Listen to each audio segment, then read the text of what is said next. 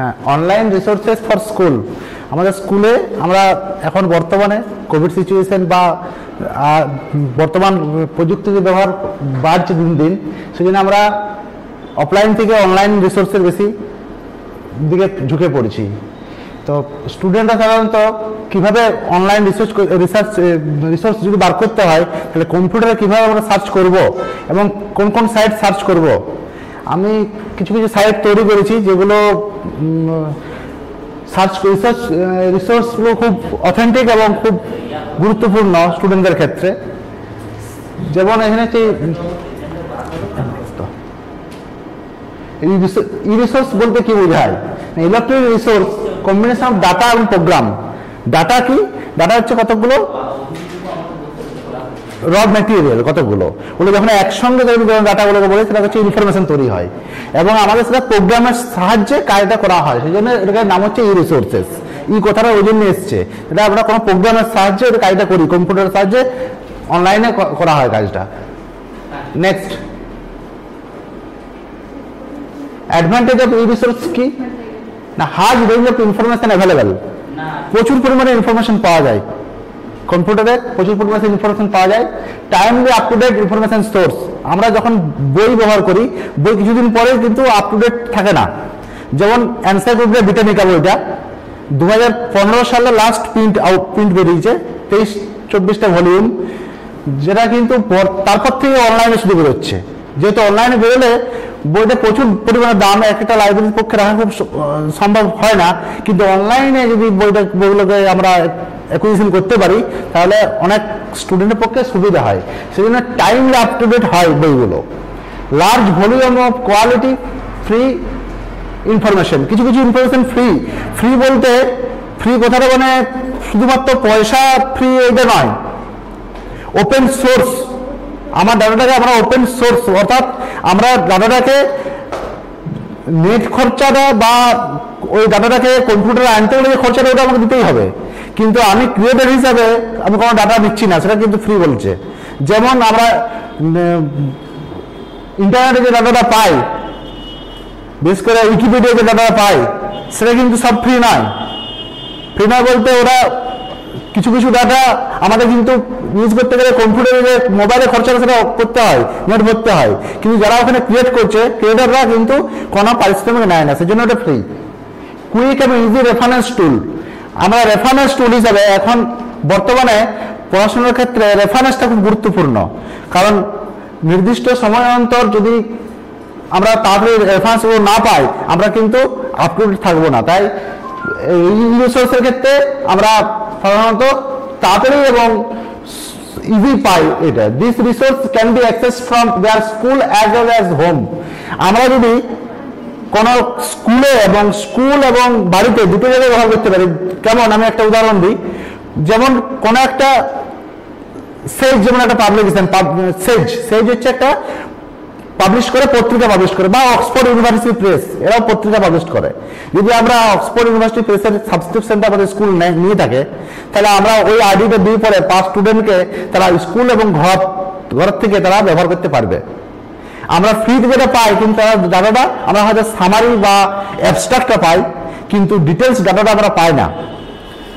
কারণ ওই সব নেচার পত্রিকা বা ফিজিক্স টুডে কেমিস্ট্রি টুডে খুব ভালোভাবে যে পত্রিকাগুলো আছে সেটা কিন্তু পুরো ডাটাটা আমরা পাই না। সেটা কিন্তু সাবস্ক্রিপশন এবং লক্ষ লক্ষ টাকা সাবস্ক্রিপশন একটা পত্রিকার। কিন্তু আমাদের যদি, সেটা যদি কোনো একটা, একজনের পক্ষে বহন করা সম্ভব না। যদি স্কুল নেয় স্কুল যদি এটাকে স্টুডেন্ট যদি আইডিটা দেয় দেয়, তাহলে কিন্তু তারা কম টাকাতেই এটা ব্যবহার করতে পারবে.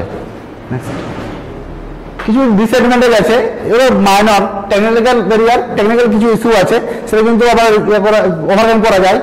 Need computer network connection software বর্তমানে অবশ্য আমাদের ফোর জির ফলে আমাদের নেটওয়ার্ক স্পিড খুব ভালো। এখন মোটামুটি ডাউনলোড করতে গেলেও বা দেখতে গেলেও অন্তত দিয়ে করা যায়। ইনফ্রাস্ট্রাকচার কিছু প্রবলেম আছে? আনরেবল ইলেকট্রিক্যাল সাপ্লাই স্কিল এবং training requirement cost can be high skill দরকার কম্পিউটারে কাজ করতে স্কিল দরকার। আমরা যে সার্চ করব, কীভাবে সার্চ করব, যে, কোন ডাটাটা সার্চ করতে গেলে কীভাবে করব, সেটার জন্য আমাদের ট্রেনিং দরকার। ট্রেনিং এবং স্কিল দরকার। তার মূল কারণটা কি? যে স্কিল আর ট্রেনিং না থাকলে আমরা আমি কত সাইডের পরে নাম বলব? যে সাইডটা হয়তো তোরা না শুনিস শুনিস নাই।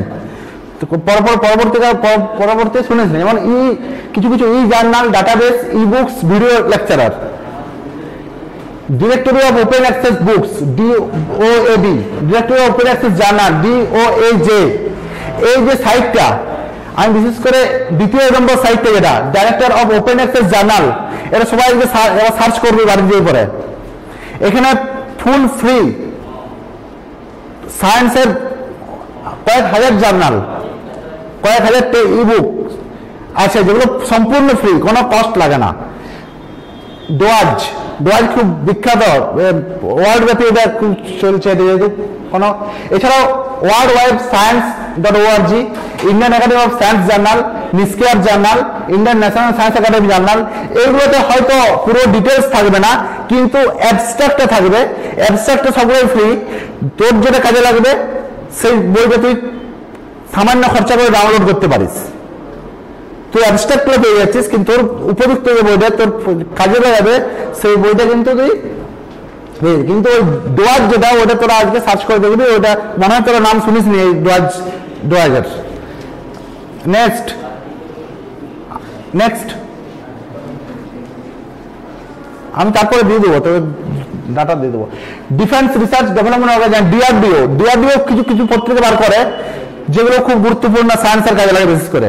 ডিআরডিও এটা কিন্তু যারা সায়েন্স স্টুডেন্ট তারা সার্চ করবে ডিআরডিও জার্নাল খুব বিখ্যাত জার্নাল সায়েন্সের পর।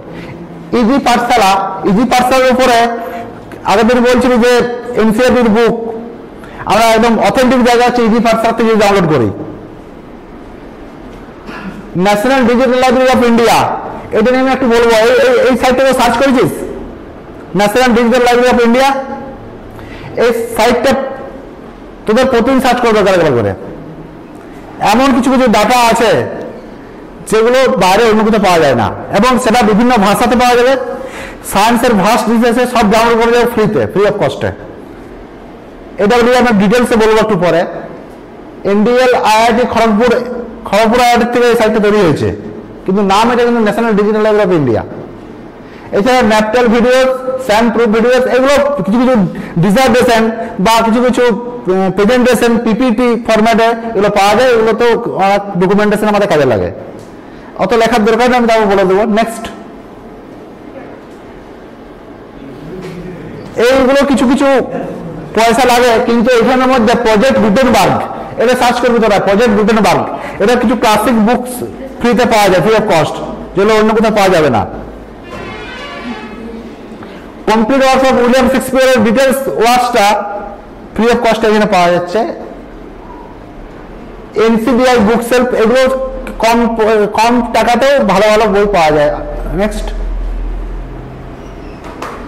internet resource of different discipline কেমিস্ট্রির জন্য ক্যামডেক্স ক্যামডেক্স যেটা আছে, এটা কিন্তু খড়গপুর আইআইটি ওই সাইট থেকে পাওয়া যাবে। ওইখান থেকে ক্যামডেক্স যে ক্যামডেক্সের যে ডাইরেক্টরিটা সেখান থেকে ডাউনলোড করতে পারবি। এনডিএল করলে সবগুলো পাওয়া যাবে। কেমিস্ট্রি ইন্ডিয়ান বায়োসায়েন্সের ম্যাথামেটিক্সের উপরে আছে। Oyster water Indian library of science world wide science virtual library এগুলো সবগুলোর কিন্তু এই ডাটা পাওয়া যায়। Next ebooks website open library open library book board online program books planet books এগুলোর থেকেও খুব গুরুত্বপূর্ণ আমি সব ডাটা দিয়ে দেবো, চিন্তা নেই। এগুলোর থেকেও খুব অথেন্টিক বই বা ই জার্নাল পাওয়া যায়।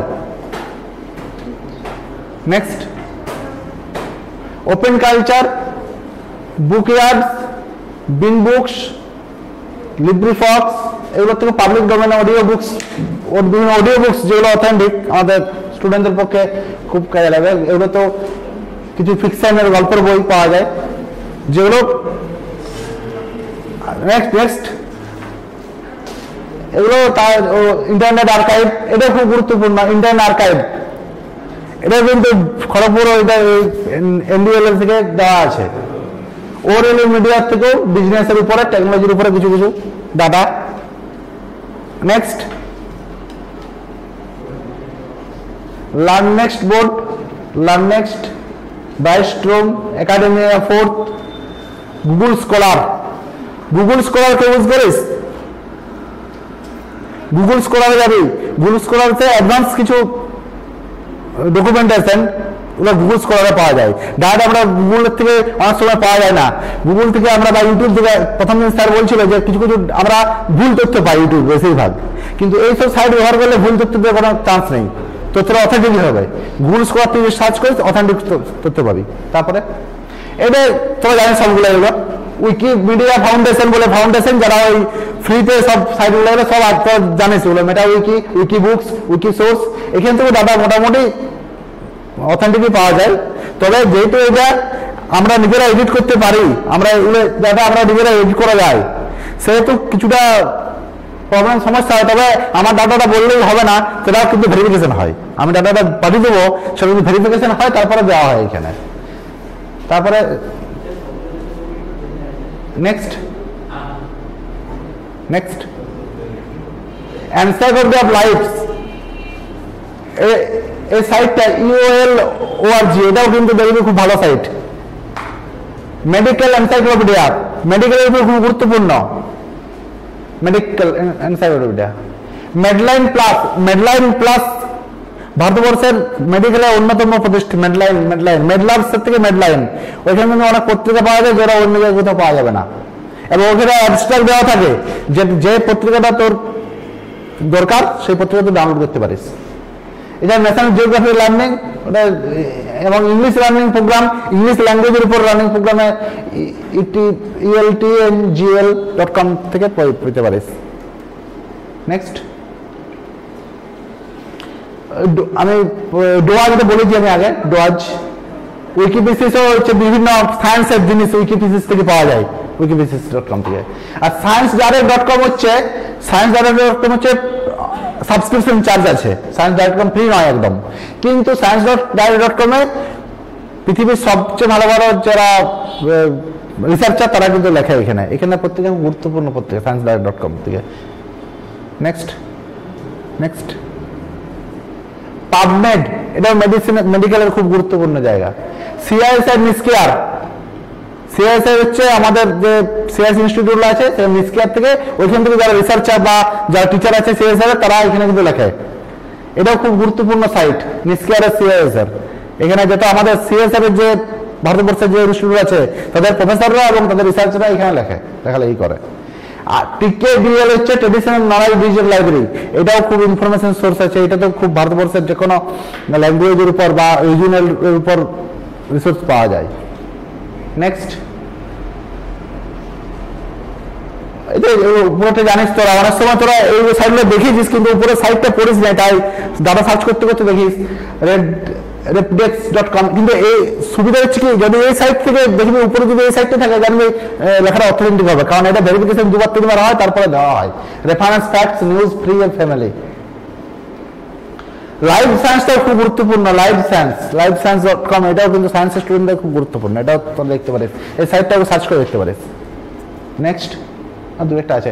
নাসা যেটা আর্থ নাসার নিয়ে যদি ডিটেলস ওটা আর্টস ডট কম থেকে কোশ্চেন জিজ্ঞেস করে, জানিস আর্টস ডট কম তোরা। ম্যাপস ডট কমও জানিস Google maps maps dot com countries of the west Google translator Google translator use করেছে সবাই স্মার্ট লার্নিং ইন জেস্টর জেস্টরও কিন্তু বিভিন্ন পত্রিকায় পাবলিশিত হয় জেস্টরও দেওয়া থাকে। নেক্সট এগুলো হচ্ছে সাবস্ক্রিপশন এগুলো অনেক সাবস্ক্রিপশন চার্জ মানে পয়সা লাগে এগুলোতে। ProQuest science finder Emerald EBSCO Medlars web science পৃথিবীর এইটটি পার্সেন্ট জার্নাল এবং এইটটি পার্সেন্ট ই বুক এই ছটা পাবলিশার বার করে। কিন্তু এদের সাবস্ক্রিপশন কয়েকটা চার্জ লক্ষ লক্ষ টাকা হতে পারে। কিন্তু যদি কোনো ইনস্টিটিউশন নেয় এবং স্টুডেন্টদেরকে ব্যবহার করতে দেয় ডিজিটাল যেহেতু আমরা ডিজিটাল হচ্ছি তোরা কলেজে গেলে এইগুলোর দাম প্রতিদিন শুনতে হতো দিকে প্রোকিস্টাইন সায়েন্স স্ট্যান্ডার্ড এমআরআইড এগুলো, কারণ এগুলো ব্যবহার প্রতিদিন করতে হবে। নেক্সট থ্যাংক ইউ আর কিছু নেই। আর প্রথম যে national digital library of India এটা কিন্তু সাইটটাকে প্রতিদিন তারা ব্যবহার করবে। আজকে করবি দেখবি প্রচুর উপকার হবে।